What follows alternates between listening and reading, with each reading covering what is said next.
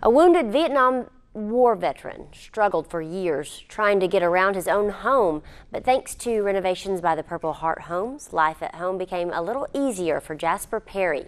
Fox 23's Corey Howard explains. Jasper Perry, a Vietnam War veteran that served in the U.S. Air Force from 1963 until 1969, when an explosion changed his life forever. When I moved the body, the body went off. Perry tagged bodies during the Vietnam War until he came across a booby trap, ultimately paralyzing him and confining him to this wheelchair.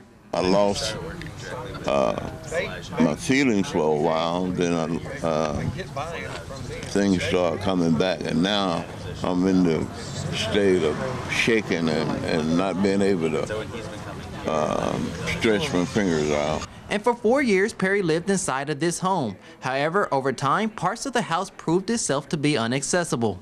Well, I couldn't get through doors, uh, the bathroom, bedroom, tearing up the house. But thanks to a partnership formed between five different organizations, Purple Heart Homes, R3SM, The First, the National League of Cities, and Home Depot, Mr. Perry received much needed renovations to his home. Placed uh, the, this sidewall here and then just made sure that this corner was repaired. He Elisha Harry explains the renovations made to Perry's home, widening the doors, raising his toilet seat, and adding multiple ramps, and also adding a walk-in shower, making Perry's home more accessible. Uh, it's uh, in my heart that I appreciate everything everyone has done for me.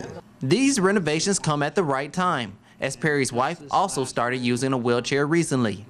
Currently, the city of Hattiesburg mentioned they plan to form a chapter right here in the hub city with Purple Heart Homes, a nonprofit organization dedicated to providing housing solutions for disabled and aging veterans. Corey Howard, Fox 23 News. The Purple Heart Homes chapter formation meeting will take place tomorrow morning at 8.30 inside of the Jackie Dole Sherrill Community Center.